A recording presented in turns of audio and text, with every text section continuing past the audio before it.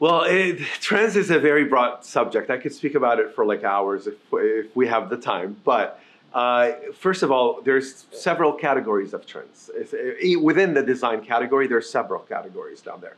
Uh, color trends is one thing. Material trends is another thing. Uh, there's also experience trends or emotional trends, like how do you want to feel in that environment. Uh, so all of these are different trends. The good thing about the color trends, they actually touch upon all of the above. Color trends can be incorporated into materials, they can be incorporated into the experience or the emotional uh, side of the design uh, idea.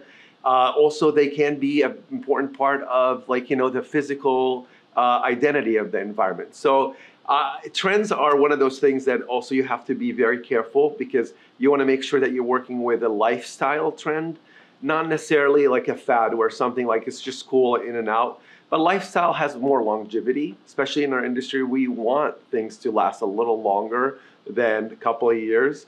So, you know, just kind of be understanding like what trends are important for you, what's important for your client as well.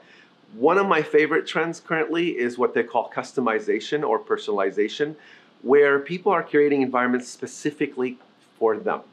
Uh, it's not about a specific color use or specific material use. It's really about more the function and the experience they want to incorporate in that environment.